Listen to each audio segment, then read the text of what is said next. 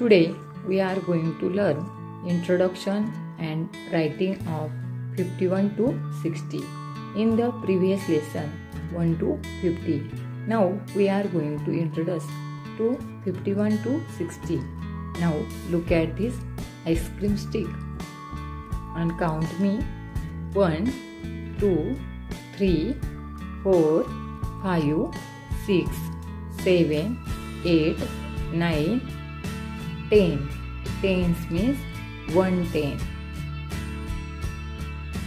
now look at this ice cream stick. 110 210 310 410 and 5 tens 1 unit 51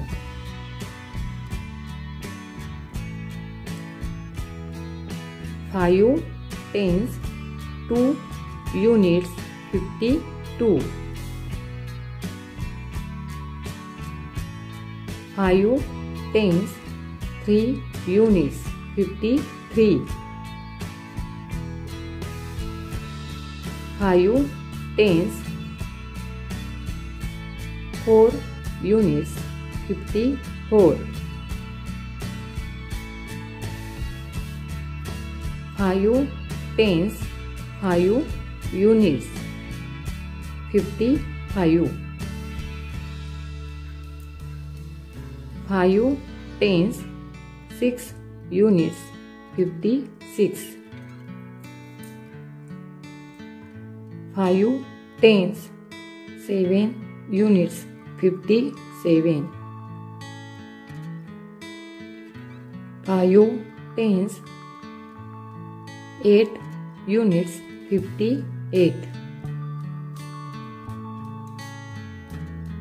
5 tens 9 units 59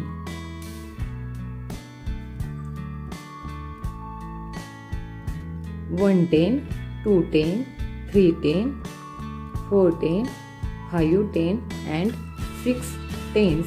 means 60